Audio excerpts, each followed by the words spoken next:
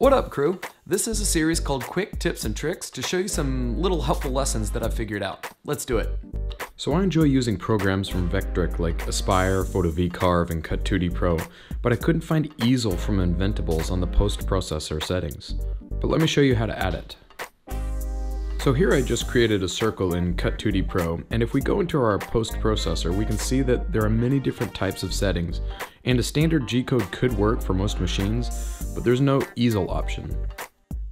So what we have to do is go into easel under import and then click on G-code. This will bring up the different CAM programs where we'll download the easel post processor for Vectric. We then find that folder in our downloads and put it onto the side. In another window, open up your program data and then go to Vectric, and then go on to whatever program you're using. Now you can go into Post P and see all the options like we had before.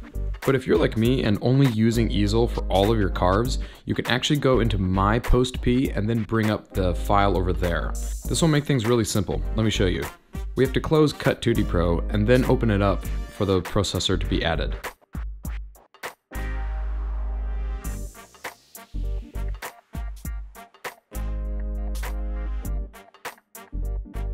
So I'll just create another circle as a demonstration. And when we go under our post processor now, we only have easel and don't need to see any of the others we won't use because they're not in my post P files.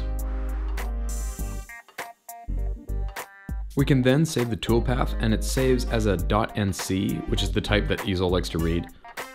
We can just open it up and there it is.